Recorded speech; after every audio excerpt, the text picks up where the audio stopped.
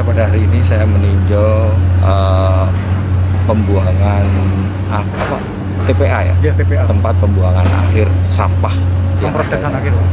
pemrosesan akhir yang ada di Kabupaten Purworejo. Ini uh, melihat memang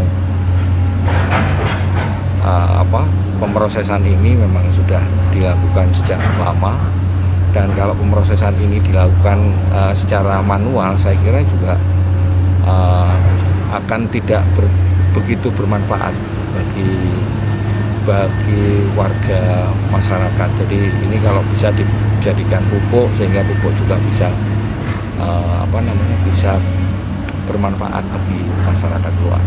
Saya kira penim- kalau penambahan wilayah kalau terus-terusan kita mau menambah wilayah sama selebar apa pun juga tidak akan bisa gitu loh. Satu-satunya jalan adalah memang teknologi. Teknologi bagaimana eh, sampah ini di apa didaur ulang nih.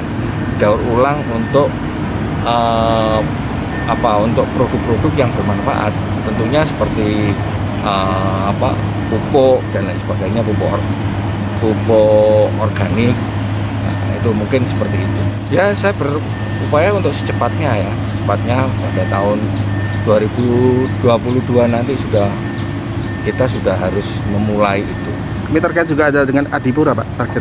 Ya, tentunya Adipura kan uh, sebagai ikutan saja, tapi yang prinsip adalah bahwa kita mampu uh, apa, mengelola sampah di seluruh wilayah Kabupaten Purworejo ini dengan baik.